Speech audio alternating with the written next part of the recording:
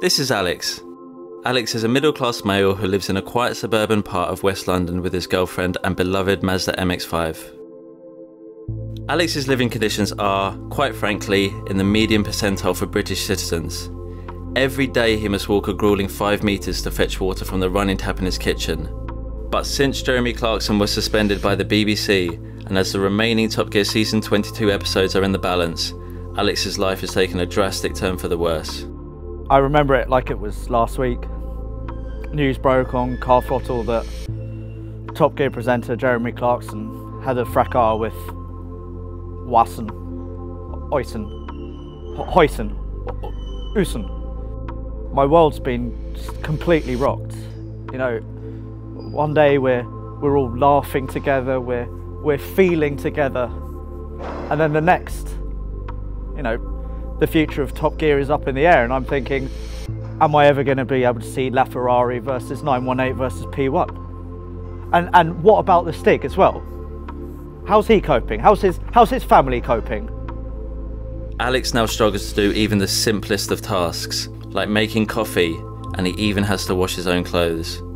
Alex has also developed extreme aggression, paranoia, and an irregular sleep pattern.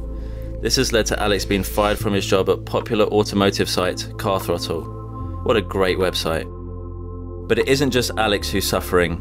Now that the future of Top Gear is uncertain, one teenager in the United Kingdom dies of clinical boredom every minute between 8pm and 9pm on Sunday evenings. That makes 1,079 deaths so far. My friend Phil died last Sunday at 8:23 p.m. It's a it's a day I'm never going to forget. He he was, you know, like me, he was hoping to watch Top Gear. And then when he turned on to BBC Two, he saw the documentary about flying cars. I think it was called RAF. Phil just he just imploded. That's why we set up the Top Gear Foundation to help underprivileged males like Alex to stop watching repeats on Dave and give them the support that they and their suffering families so desperately need. Our team of trained counsellors help people like Alex live without Clarkson, Hammond, and May, and instead show you the limited talents of lesser presenters. But we need your support to help these lost people find meaning, hope, and courage. You can change lives, and you can help Alex.